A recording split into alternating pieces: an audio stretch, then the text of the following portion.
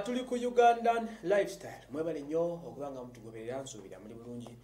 Mujebaleko gye mukola mbatumiddeko ne mbabuuzaako ne mbalamusaako njagala okubategeeza mwenna bannakampala nti omuloodi erias lukwago asobodde okuba nga akomawo akaseera katono akayise emabega okuva mu ddwaliro e nairobi. Ono nno mujjukira nti yatiwaliwe e nairobi ku nsonga z'obulwadde bwa bawita pulmonary vein Eh, eba omisuwa saako ne mumawugwe obadde musumbuwa ku kwokusa era treatment agimazeeko. Almost two weeks ng'ali mu ddwaliro one week kale n'ennaku eziyiseemu ng'ali mu ddwaliro erye ng'ali mu ddwaliro emugundi e nairobi. Asooka kubeera ku ddwaliro lya agakan then oluvannyuma lwa agakan nemulifaringa ku ddwaliro eddeneko okusobola okuba ng'afuna treatment. Era batuka n'omutumiza omusawo okuva e uganda n'agenda amu- bamujjanjabira eyo era oluvannyuma finally wetwogera ku makya.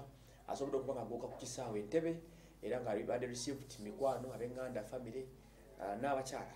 Asobodde okuba nga mureceivinga ekimukomezesezaawo asobole okuba nga ate afuna treatment esembayo ng'agifunira wano mu ggwanga eh, kubanga embeera ebadde yaddeyaddeko ng'etedde ebadde musumbuwa bibadde bimaze okuba nga bikolebwako. So tumukulisayo nnyo omulodi lord mayor ow'ekibuga kampala uganda eh, mumuwereze ku bubaka ku peegi eza accounts ez'enjawulo musanyukireko munange omusajja asobodde okuba nga ate akomawo. So ebyo bitagisa bina ebisigadde ah, nebinaaba bivudde oba mu lukuŋŋaana lw'amawulire lwanatuuza wa press conference byonna tujjako tebibatuusaako naye sofa kyemulina okumanya nti omulodi ng'enjogera begamba nti omulodi mwali safe and sound ebintu buli kimu kitambula kiriya tewali nnyo kisumbwa saawa zino treatment esigadde.